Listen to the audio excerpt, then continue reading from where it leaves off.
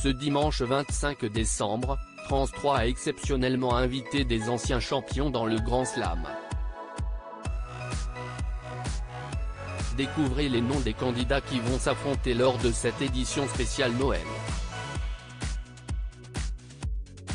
CIST un joli cadeau de Noël pour les fans du Grand Slam. Le jeu de France 3 présenté par Cyril Ferro verra s'affronter d'anciens gagnants qui ont marqué le programme depuis ses débuts.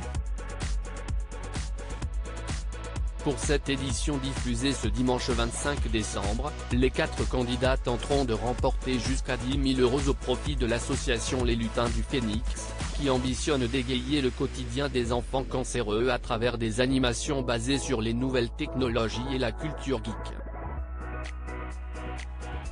Cette édition marquera notamment le retour de Yarno et Cécile, qui avaient remporté le trophée des champions, respectivement en 2020 et 2021.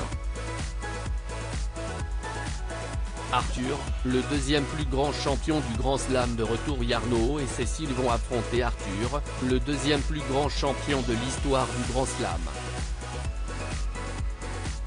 Celui qui s'était déjà illustré au jeu Motus, des chiffres et des lettres et questions pour un champion avait battu tous les records au Grand Slam avec 27 victoires et 158 000 euros de gains en 2020. Une belle expérience pour le prodige alors âgé de 28 ans, mais qui avait été compliqué émotionnellement. À l'époque de sa participation, il s'était d'ailleurs confié à Télé Loisirs sur la manière dont il avait vécu les enregistrements du jeu de grille, si est assez dur. Parce que, déjà, la veille d'un tournage, je n'arrive pas à dormir. Ce qui veut dire que j'arrive sur le plateau déjà fatigué et il faut rester debout pendant les émissions, parfois sans rien faire en attendant que les autres candidats jouent, dans des chaussures que je ne porte que pour l'occasion. En fin de journée, j'ai mal au dos, mal aux pieds, rire. Le cerveau est aussi un peu fatigué. Si est un peu difficile de sortir indemne d'une session de tournage? Déjà le retour du phénomène Enzo. Le quatrième candidat et non des moindres à faire son grand retour est le phénomène Enzo.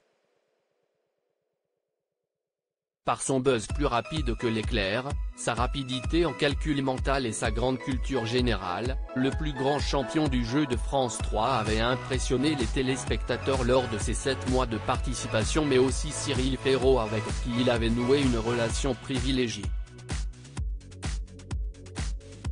Avec Enzo, depuis le début, j'ai l'impression d'être dans mon rôle d'animateur, mais aussi d'être un grand frère qui veille sur lui. Sans jamais le favoriser. Ça découle tout seul.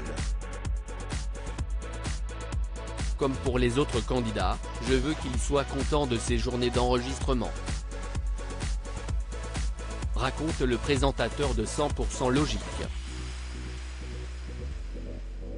Le candidat au quotient de 148 s'était incliné après 39 victoires et 239 500 euros dans sa cagnotte le 6 novembre dernier.